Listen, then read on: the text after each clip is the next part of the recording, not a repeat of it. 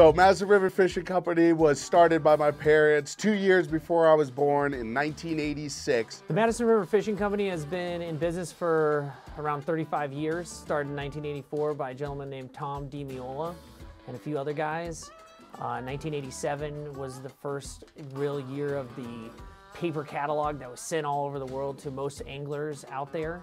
Uh, we went live with a website in 1996 and we have been striving to keep up that presence since then. Um, in 2016, Joe Dilschneider, who originally had Montana Trout Stalkers, he purchased the Madison River Fishing Company. We were able to give it a facelift and re-up everything and keep the name and the quality of fly tackle that we have that we've been selling ever since 1984.